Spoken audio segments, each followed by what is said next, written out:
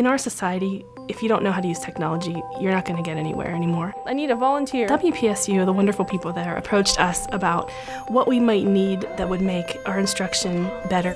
We told them what we would like to see. We named the different strategies that we were teaching at the time, and we came up with some interactive games and activities that our students would be able to play to reinforce all the different work we were doing with those strategies. Sure, visualizing can help you. How would it help you? We were able to bring in all of the latest technology for our students to learn, and now instead of learning that as adults or as high school students, they're learning it as first graders, second graders, third graders.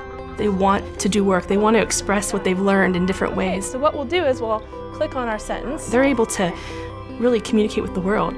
We can use technology to actually visit places and to conduct experiments that we never would be able to do in our classroom. So it's kind of like our classroom doesn't have any walls anymore. Very good. I'm Heather Dezicki, and WPSU is my source for inspiring my students by bringing the world into my classroom.